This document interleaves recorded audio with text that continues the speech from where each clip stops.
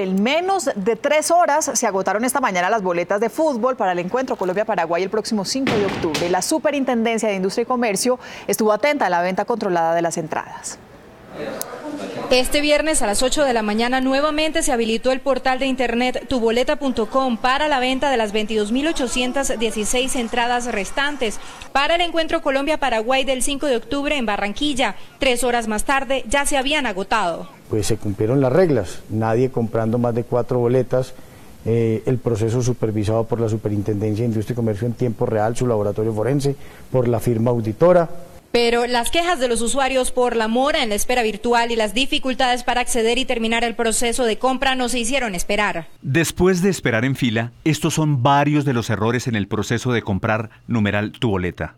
Ingresas después de esperar tu turno, eliges boleta, luego vas a pagar y simplemente se detiene y se te acaba el tiempo. ¿Será que algún día podremos conseguir una entrada para las eliminatorias Rusia 2018?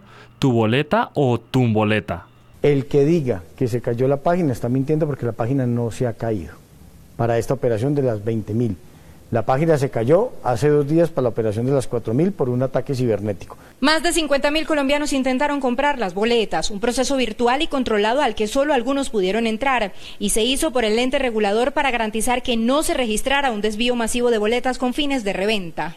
Yo le puedo asegurar que este es el partido de Colombia en Barranquilla, en donde más transparencia ha habido. Las boletas se vendieron a precios de 62 mil pesos, 205 mil y hasta 360 mil de acuerdo a la ubicación del estadio.